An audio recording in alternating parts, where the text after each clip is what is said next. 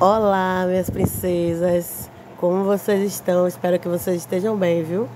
Tá muito quente aí porque o sol daqui tá daquele jeito e hoje mais um dia de vlog comigo, viu? E entrega de água.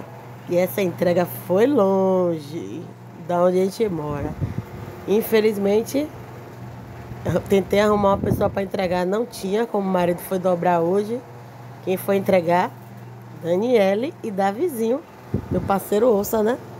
Isso é para ele dar valor aos pais dele, que trabalham muito, que não é fácil ter tudo, né? E não ver o corre. Então levei ele hoje para poder ele ver como é o sol quente, lugar longe.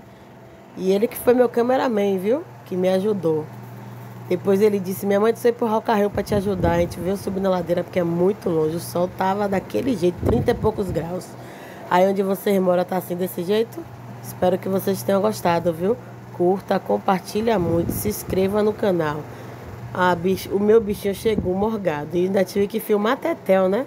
Que ele disse que tava igual. Não sabia nem como é que foi a entrega, mas ele tava daquele jeito. Espero que vocês tenham curtido. Beijo!